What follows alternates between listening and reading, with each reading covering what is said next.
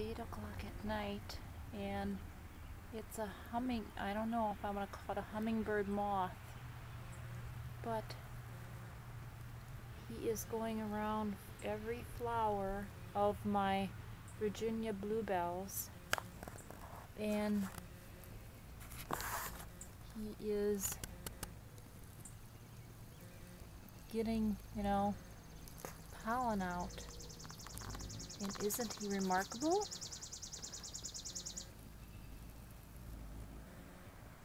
It's hard to get him, but I thought I'd get some really good shots of him. Isn't it beautiful? Keeps flittering around. He goes to the He's just all over the place. And he's coming real close to me, but he keeps coming back to the Virginia bluebells.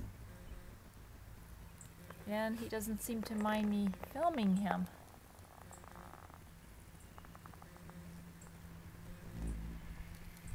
He has a real pretty hum.